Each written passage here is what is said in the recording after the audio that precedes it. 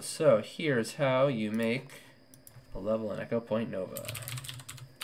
In this video, I'm just going to cover the absolute basics. Uh, I'm not going to go over like how to make stuff move, how to set up scans, how to set up treasure chests. Just going to show you how do I put down an island, how do I put buildings on it.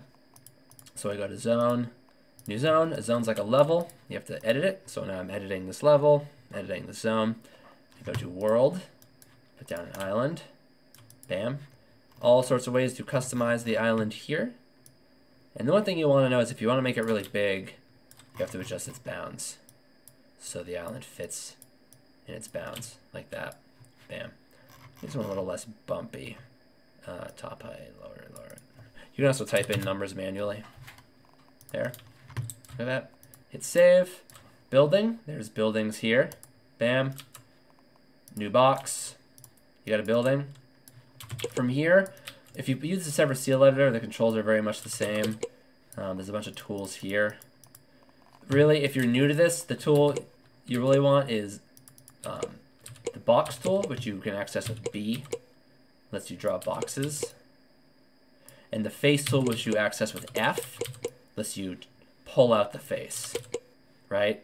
So between these two things, I want to cut a hole in here, I do a box, and then I do face tool and remove it. So that's B and F, and box tool, face tool. Those two guys, those two will get you get you very far. There's also paint. Uh, sorry, you can sorry face, paint, paint it. Bam. Um, if you want to cut like a hole in the terrain, go back to Earth mode, do new shape. Shapes lets you subtract. So this is a box that subtracts. And if you have a problem with the shape not subtracting, it has to be a higher priority. That just decides like if two different things are competing for the same space, who wins. So this will win that. Let's make you cut through the world. Hey, look at that. Bam. So you got islands, you got buildings. One last thing. Uh, well, I mean, enemies are whatever. Easy. Enemies are easy. Uh, grass. Spawn grass. Grass is a little annoying, I'll be honest with you. I'm to set it. You gotta set how big of a zone you want the grass to be in. You gotta choose its type.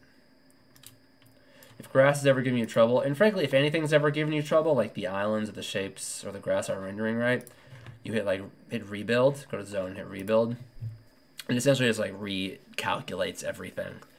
And if anything's going weird, that'll usually fix it. Look at that. We got ourselves a little island. If you ever want to test it, you hit play.